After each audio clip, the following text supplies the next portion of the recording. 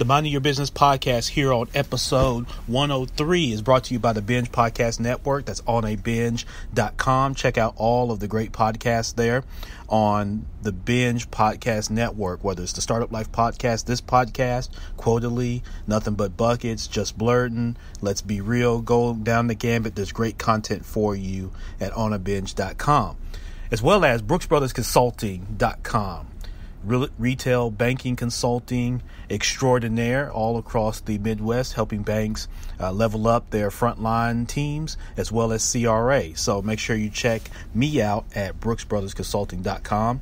Share the show, subscribe to it.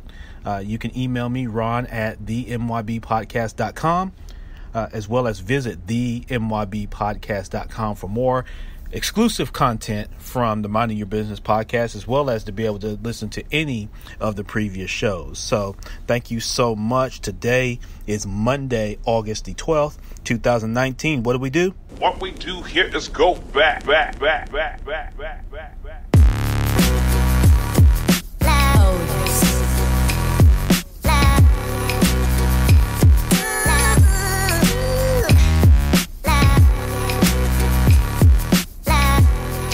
Thank you so much. I am your host, Champ Ron. We got a special guest that's going to be here in the building today uh, that I'm really looking forward to and uh, have been looking forward to for some time. But uh, just to, before I give the introduction for my guest today, uh, I want to share with you an, a recent award, um, 2018 uh, award that uh, this gentleman and his company won. A Stevie Award winner in the 15th Annual International Business Awards. Please join me in congratulating Seven Stage Advisors of Riverdale, New Jersey, USA. Seven Stage Advisors is the winner of a 2018 Gold Stevie Award for Entrepreneur of the Year in Business and Professional Services for Carl Gould.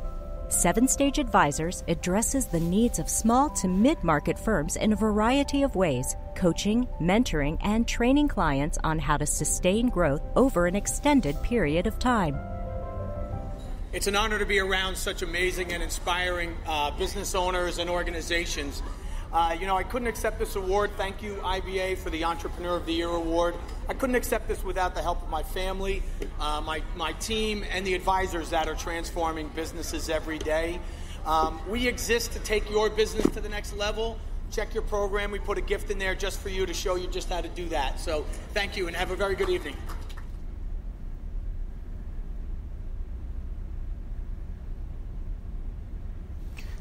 So MYB, you got a chance to hear uh, the great award that uh, my next guest uh, won here recently. And it's phenomenal to have Mr. Carl Gould. He's the CEO of Seven Stage Advisors, uh, who's joining us today, MYB. So give a round of applause for Carl. Carl, are you there? I am. Hey, everyone. Hey, how are you today? Really good, really good. Glad to be on. Yep, excellent. Thank you so much, and we're so excited to have you. Uh, we've got the audience here that uh, is excited, and uh, we've been mentioning you for some time here. So everybody is uh, ready to go, and they've got their uh, iPad or whatever they're using to take notes, and uh, so we're getting some thumbs up from, from some folks, which is great. So, you know, Carl, again, thank you so much. And, you know, with you being as busy as you are, to, to take time, you know, to join us here on the Minding Your Business podcast is really special. So we definitely thank you for that. Well, I do appreciate the opportunity. So, uh, all right, you said iPads up pen and paper in hand. So let's roll. Yep, let's roll with it. So, yo, Carl, let's start out. So, for people who haven't heard of you and they maybe haven't heard of Seven Stage Advisors, yo, tell us a little bit of, of your story pathway to how you got to where you are today. Sure. So, um, uh, there I was in um, high school. My guidance counselor says to me, Carl, your math scores are off the hook. You ought to become an accountant. And I said, wow, that sounds like a sexy job, an accountant. Oh, I'm in on that for sure. So I went to, I enrolled at the University of Delaware, went to the, uh, st- started studying accounting and finance. And um, at the in the second year in school, I broke my leg pretty badly, and I I needed to leave school. And, you know, and as a result of me having my own way and not being able to afford to go back, I had to find a way to make some money. So I started what became the first business of my entrepreneurial career, and that was a uh, landscaping company. Okay. Started a landscaping company from scratch, uh, grew it, sold it in the uh, early to mid 90s, um, and then started a construction company. Um, I had that uh, company from 1992 through 2004. Um, but I started as a coach in 1991. I went to a seminar by Tony Robbins. Really loved the idea of personal development, um, helping people set their, you know, set and achieve their goals. So I was doing coaching as a side hustle all through the 90s. So if there was such a thing as a side hustle, that was my that was my side hustle. Okay. Coaching.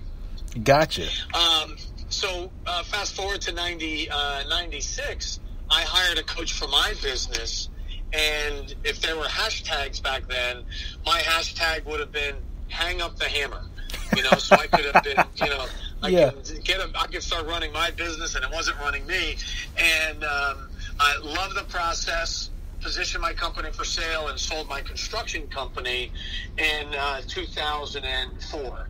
But the business I have today, I started in 02, uh, Seven Stage Advisors, and you know now I, I get to work with people all over the globe and um, you know uh, help them, show them how to grow their business, take it to the next level, and and um, as an organization uh, achieve their dreams. So it's been a, quite an exciting ride. Yeah, excellent. And uh, I might have to uh, reuse that hashtag, hang my hammer. Yeah, hang up the hammer, baby. Yep. That was our.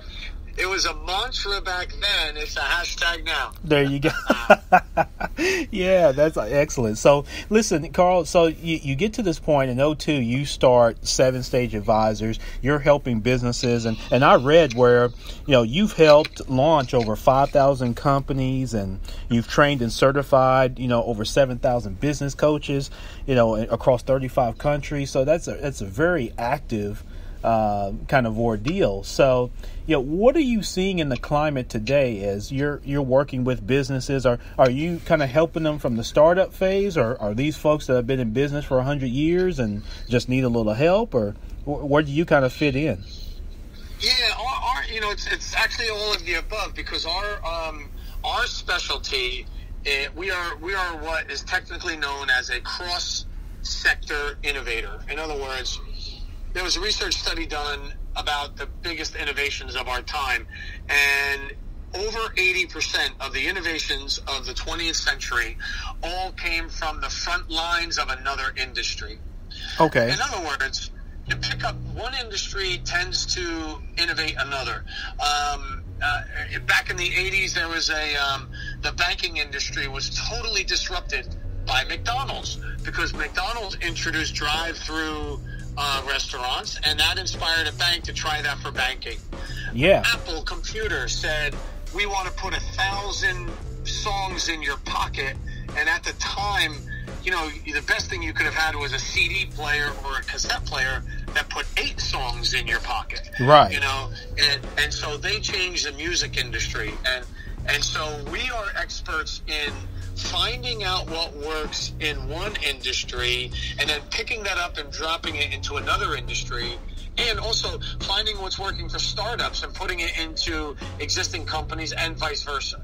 So our our expertise is to work with as many wide variety companies and industries as possible because that makes us more and more uh, innovative. Yeah, and and let's stick there, uh, Carl, in terms of the innovation because that that really struck for me because one of the things that when I talk and I deal with a lot of people at the startup level when it comes to you know helping business owners, and one of the challenges that I tend to see is a lot of companies, particularly existing companies, tend to not have that innovative mindset. They tend to, um, you know, lack of a better term, kind of like in Hollywood where they typecast people and they say, Yeah. well, this actor can only be the villain or this actor can only be the hero.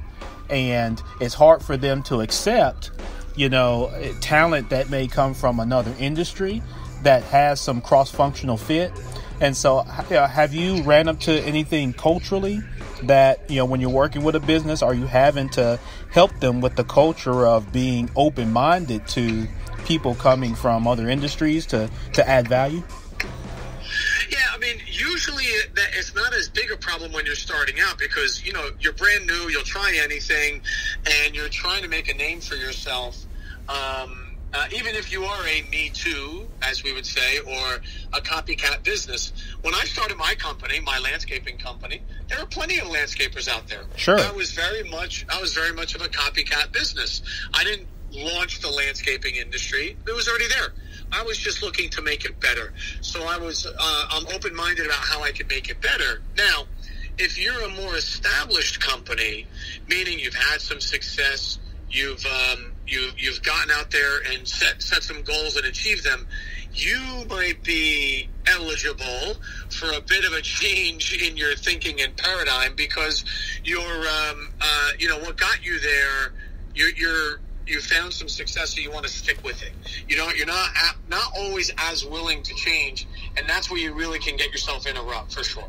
Yep, definitely. And so, you know, where do you see, uh, you know, as you're working with businesses now, Carl, um, are you, is there any kind of trends that you're seeing with them now? I know, you know, today's environment is ever evolving. It, it, it tends to pivot quick. So what are you kind of seeing out there now?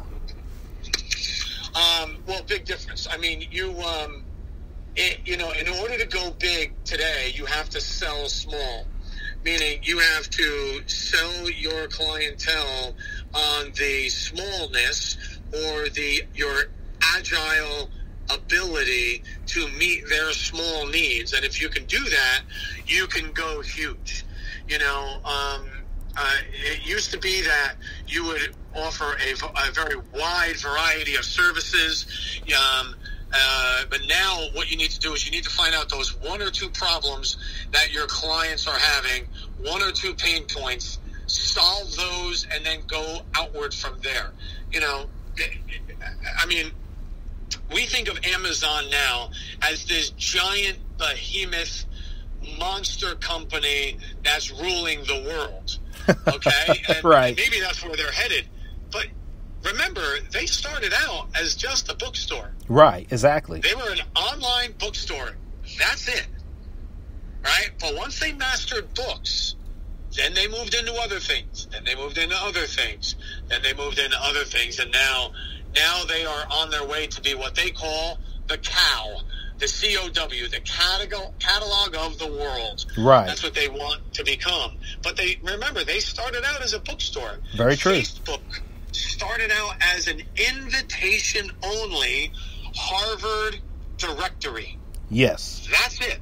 They were they were as exclusive as you can get uh, before becoming the biggest social media platform in the world.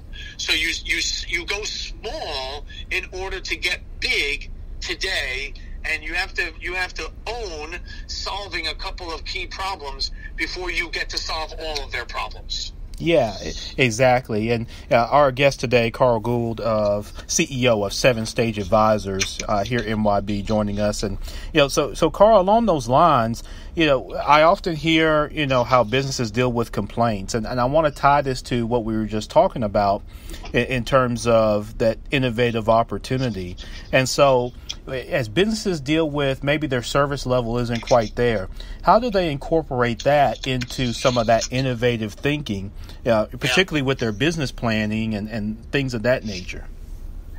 It's the quickest way to differentiate yourself as a business is to find out what the complaints are in the industry and then one by one roll them into your business plan and solve them for your customers. So one of the quickest ways to do it is there's three ways you can figure out where you need to innovate next. Number one, read up on the reviews for you and all of your clientele. That's easy enough to find. Okay, um, and if you're not sure where to find the reviews, I can sh- I can give you the exact Google search terminology. Now this is very technical, so I'm glad everybody has their iPads and uh, iPads out and ready to go. So this this is the exact terminology to get the best search engine. Type in your name, your company name, and then the word sucks right after it. type in your competitor's name. Yeah. And right after that, type in the word sucks or scam. right? Um, and you're going to find out all the negative reviews about you and your competitors, right? Right. And um, so look at look at yeah, right. Look at Yelp reviews. Look at the written reviews. Also, go back. So uh, go back to your sales team or whoever handles sales, and think about the objections you were getting along the way. Yeah, but are you available on the weekends? Yeah, yeah, yeah. I, I get it, but are um when I call, can I actually get a human on the phone? Yeah, you know, um, are you guys responsive? Because I've had a problem with that in the past. Think of the objections you get during the sales process because what your buyers are telling you is what they're upset with the entire industry because they've had this problem before. Not with you, obviously, because you're trying to sell them. They've had it with other companies. All right. Um, and so that's an area that's an area to look at, and um, uh, so be be aware of that. Understand what the um, complaints are, and then what you want to do is create an offering, a service level offering that solves those complaints.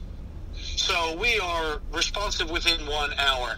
It's 24 uh, 7 accessibility. Here's our weekend phone number. We'll get it to you within 24 hours or your money back.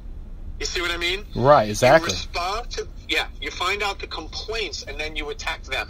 Yep, excellent. And, and you know, I hope everybody's taking that down because I, I'm even taking notes with that because you know, going back and searching your company sucks or you know, company scam or any of that, and with your competitors, I think is a very you know, essentially no cost other than your time, but it's so valuable to get that feedback. So um, that's incredible. Um, you know, one of the things that as people are doing that along those lines, Carl, is um, a lot of folks that are listening to this in MYB community, um, they won't relinquish control of their business. Um, a lot of people they want to hold it and kind of baby it, and you know, so how important is it, you know, for entrepreneurs to kind of relinquish control as they're trying to grow their business? So, as they're reading reviews and doing things to try to innovate and and really dig in to to solve uh, real kind of simple agile problems, Carl. You know, how do you know kind of business owners and entrepreneurs simultaneously relinquish that control within their organization so that they can really capitalize on the opportunity and don't burn themselves out or miss opportunity by not letting it go.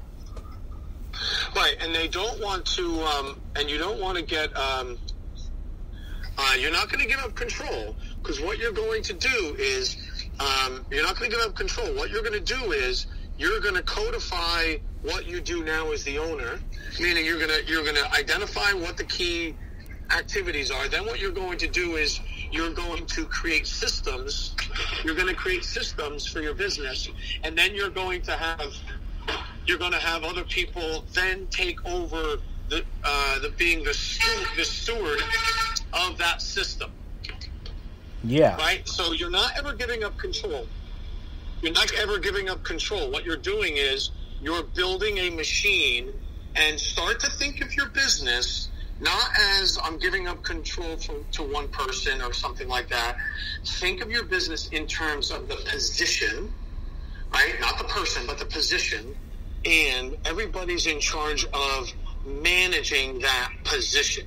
Imagine like you're you're babysitting a machine to make sure that that machine is running well.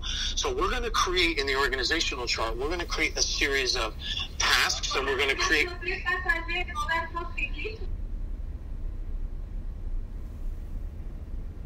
Sorry, guys, so a little bit noisy. Oh, background. not a problem. We're going to we're going to create we're going to create some systems in place and then what we're going to do from there is we're going to have people monitor and manage that system okay so you're not losing up losing control you're actually gaining control because if you put in the proper system and then you appoint the person who's going to manage that particular system then um, you'll actually increase the amount of control that you have Yeah.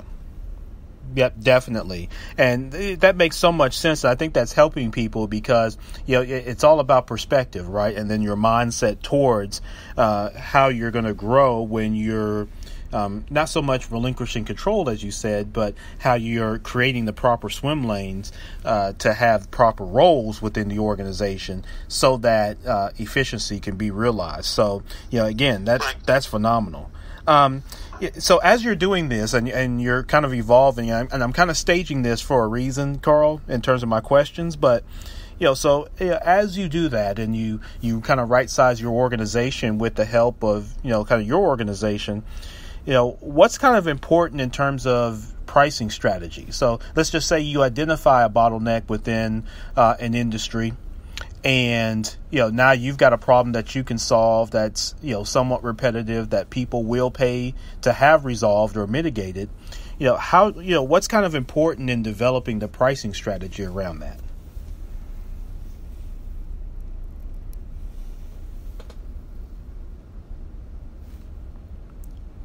Hey carl i think we might have lost you or you may be on mute. Oh, sorry, I think I hit mute by accident. oh no not a problem Sorry about that. So the Yeah. pricing, your pricing is the number one way in which you communicate with your clientele.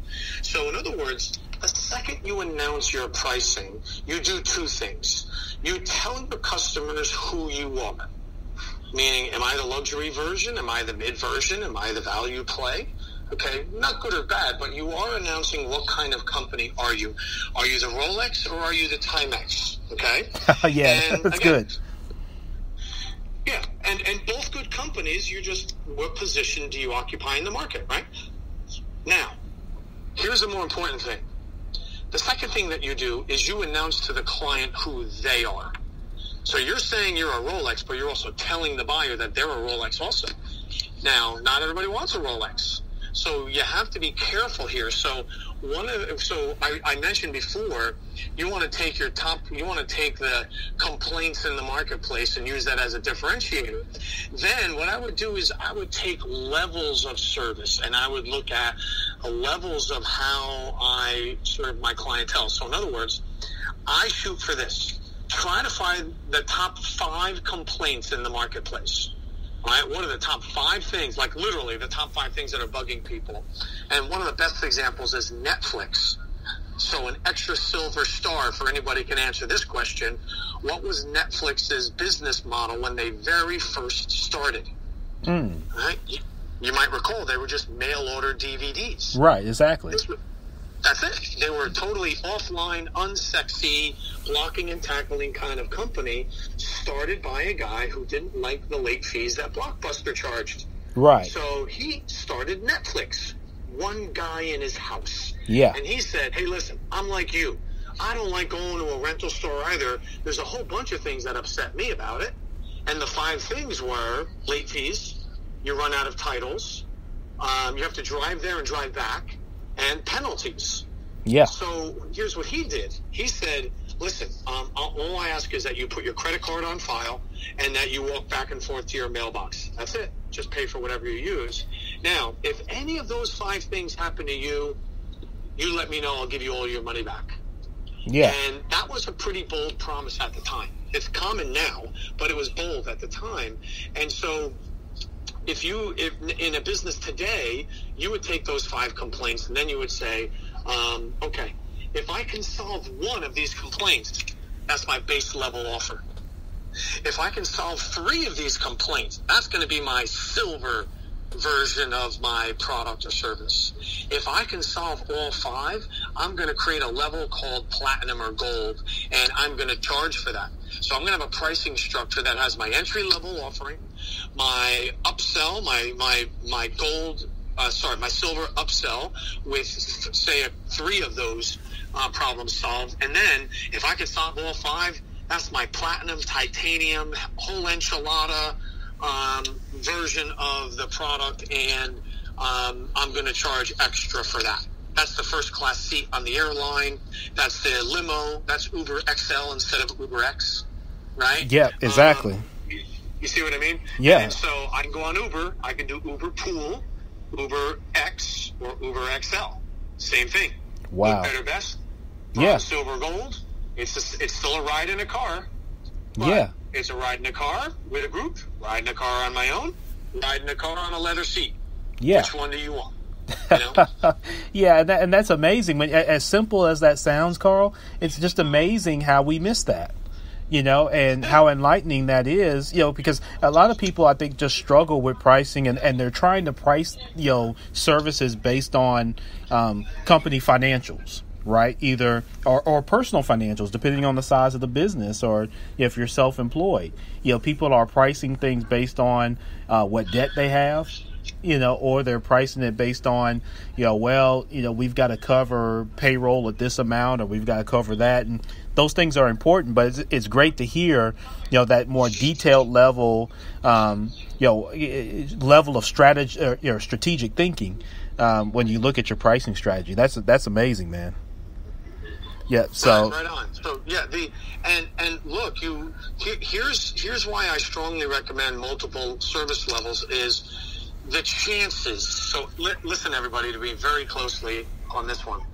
The chances that you are perfectly positioning your pricing and offerings and features, advantages, benefits perfectly for all of your customers is almost nil. All right, and why the reason why it's necessary to have three multiple levels is you want to and you, in today's day and age, you need to provide a path for your clientele, some of your clientele, to pay you more so they can claim that they are your best customers. Like there is a segment of your pop, of your customer population that wants to say they are your best customer base and that they pay the most. And I know this sounds crazy, but think of this for a second, Ron. Yeah. How many people? How many people do you know that bought a luxury anything, a Tesla Rolex trip to Hawaii, the express line at Disney, and then complained about the price? No. Or did they brag about the price? Yeah, the latter. They bragged about the price. The latter. They brag about it. Yeah. You know?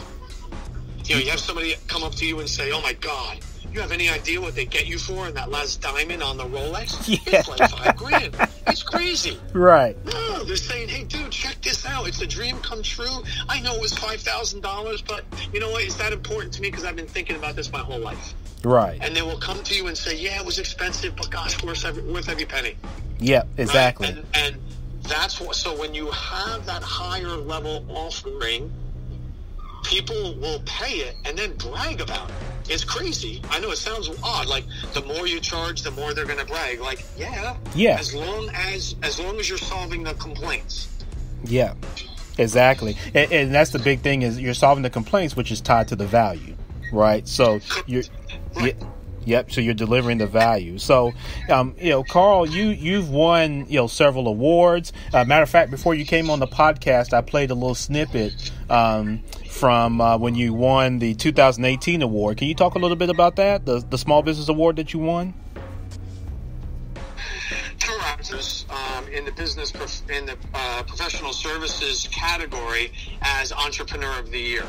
Uh, so it was uh, I was nominated for it. Um, I, I was honored to win the international award in 2018, and I, I went to London to accept that award, and um, and I was nominated in 2019 actually for the American version, and I was honored to win that as well. So um, it's been a very uh, humbling last 12 months. Yeah, definitely. Well, well, you know, from um, representing the MYB community, we wanted to um, share our congratulations to you on that. I think that's phenomenal. Um, obviously, with what Oh, you're sharing, yeah, and, and what you're sharing with us today is a reflection of you know that value. And yeah, I think of anything to be recognized by your peers is, is always the, the highest kind of form of regard. Um, when your peers see you as uh, kind of a value-added expert in, in the field. And so I think that's great. And so you've also written three best-selling books, Carl. Um, you know, Blueprint for Success, uh, The Seven Stages of Small Business Success, and uh, most recently, uh, Biz uh, uh, Dev Done Right. And so, you what can people expect, you know, between those three books, um, you know, so that they can get plugged in even more? Um, well, in Blueprint for Success and Seven Stages of uh, Small Business Success, I lay out a very specific uh, growth cycle and very much a roadmap for how you should grow your business, uh, in what order, and what how you um, and how you go about uh, creating sustainable results over time. You know, um, you can hustle your way to a million dollars, um, but if you don't do it in a sustainable way, you can go as back you can go backward as fast as you go forward. Uh, so that it's very important to make sure that you are um, you are staying on that growth trajectory. And the in those first two books, I talk about sequence. All right. Yeah. Sequence isn't everything, but it is just about everything when it comes to growth. You really need to be doing the right things in the right order. Um, you know, if you do the right things but in the wrong order, uh, you're not going to get the result that you want. And we find our, you know, you asked before, like, when do uh, companies get stuck? And one of the things that happens is they are doing they're doing what they think is important, not always what the business needs or what the clients want. You know, we say that the personality of a business mirrors the personality of its owner. Right. So if you have an owner who's very operationally focused, well, guess what they do? To them, everything is operations, operations, operations. And there, there are times when operations takes a back, back seat to sales or marketing or strategy or finance. But the operations focused owner, operations is always number one. A Yeah. marketing type owner, marketing is always number one. Exactly. So invariably, they just get out of sequence, and we get them back in sequence. And then uh, Biz Dev Done Right is a sales produ- production and sales management book. And um, I've, I've just watched so many companies fall on their face one step before the goal line. So, you know, so tongue in cheek, we say Biz Dev, and those two words are spelt wrong, and, and done right, and those two words are spelt right. Um, so we, we try to help people correct some of the mistakes they make in their business development and um, uh, help them get it right. Yeah, excellent. And so, where can people find your books, uh, Carl, if they you know, they're interested in getting a copy? Well, that little bookstore we talked about a little earlier, Amazon. Right. Uh, certainly find them there. Yeah. Um, uh, also on carlgould.com. Uh, you can get a copy of any one of my books there. So um, uh, uh, either either way, um, I love the fact that I get the chance to get the word out. So either way, um, I'm glad you get the opportunity to uh, share in some of the distinctions I've made over the years. Yep, excellent. You know, and so you know, Carl, this has just been phenomenal information. I mean, I'm here taking notes. I've got people, uh, you know, sending me inboxes that they're taking notes, and you know, they're on your site now, and then that sort of thing. And so, yeah, as we wrap up, what are you- you've given us a lot of great nuggets, but what are just kind of like two or three best practices that you've come around? I mean, you've been doing this a long time. Um, and you started your business back in 02, which, you know, I mean, to many people, that sounds like 100 years ago. um, you know, so, you know, what are two or three best practices that you'd like to share kind of with the, the podcast audience? Sure. Uh, the first one is that no matter what business you think you're in, you're in the marketing business. Okay? I, I don't care what you sell. I don't care what you service, what you produce. The mar- the lead generation engine is first. Always. Never stops. Never takes a break. Never goes on vacation.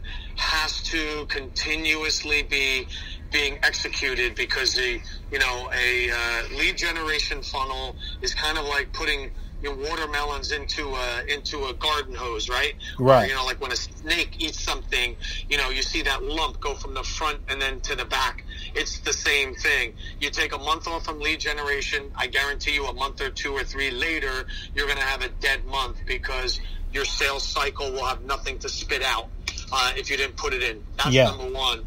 Um, no, number number two is um, you do not ever ever discount your way to market share. Uh, that was that's an old strategy. That's a strategy from another generation. In other words, if you're just getting started, you don't say, "Well, I'm just going to drop my prices so I get my name out there and I get a little foothold." You don't need to do that anymore. All right. If Richard Branson started a new business, he wouldn't say, "Oh, uh, I'm going to discount my services so I can get my name out there. Nobody knows me for this, so I'll just discount my way to get some traction."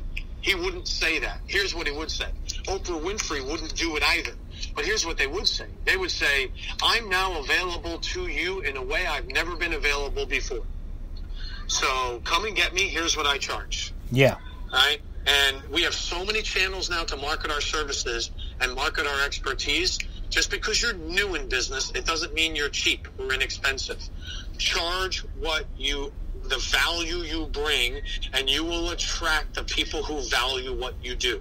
Yes. So you, I know I know that sounds hard in the beginning, especially when you have to say no to a few people. But charge for what you're worth. Yes.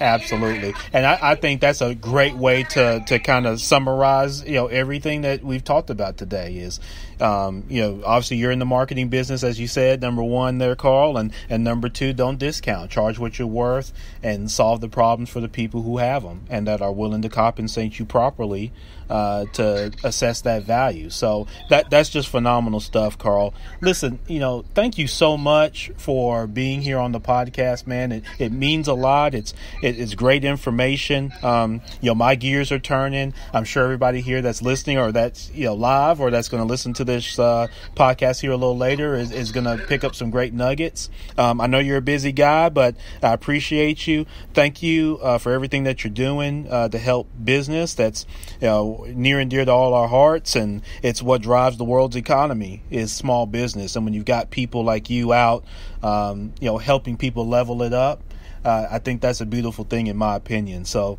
thank you, Carl. Um, I look to remain connected with you. If you ever see where I can be of value uh, for you or, or, kind of your network, let me know. And um, I look forward to being connected. But thank you.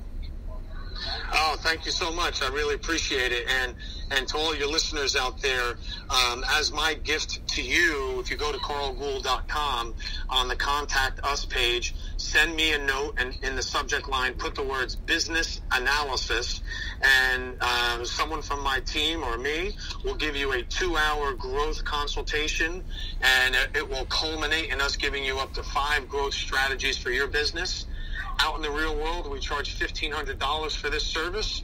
Um, but anyone listening here, uh, if you're since you're on this call, um, I'll do it at no cost. So, oh if wow, you want to take us up on it? Yeah, take us up on it because we'll give you some really good strategies and. Um, you know, uh, uh hopefully, we'll our our paths will cross again. Yep, absolutely, and that that's almost unreal to get you know two hours of you know kind of you know eventually essentially no cost kind of consultation and strategy discussion. That that's almost unheard of, Carl.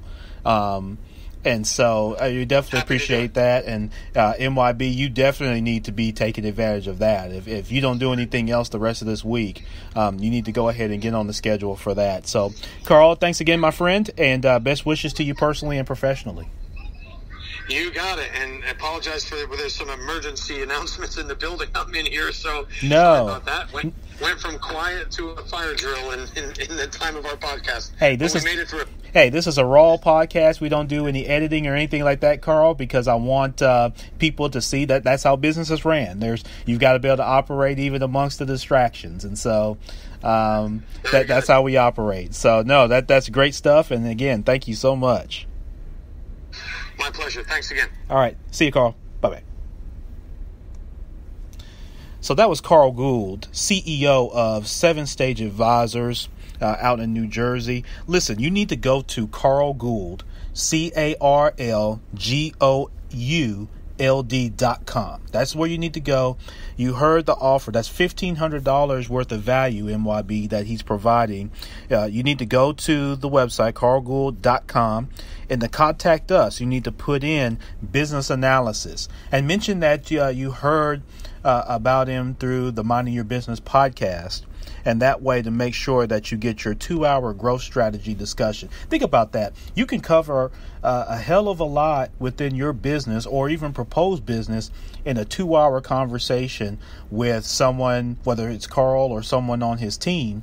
Um, to help you really get launched and get moving in the right direction. So that's that's extremely rare. Uh, not a lot of people that come on this podcast or just around will lend that kind of time to you. So carlgould.com. Make sure you put in, uh, go to contact us and go to business analysis uh, or put in business analysis and uh, make sure that you get two hours of growth strategy dialogue. Uh, again, with seven stage advisors, uh, normally a $1,500 value for free. So I hope you got great uh, insight today um, from our guest, Carl Gould. Thank him so much.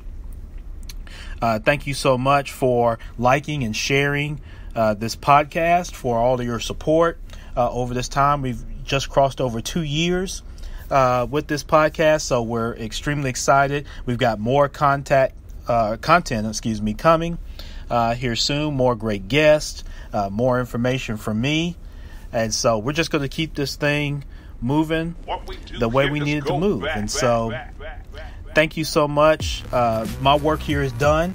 I'll be back with you on another episode of the Minding Your Business podcast. Entrepreneurship, real estate, trending news. There's no business like minding your own. Champ Ron.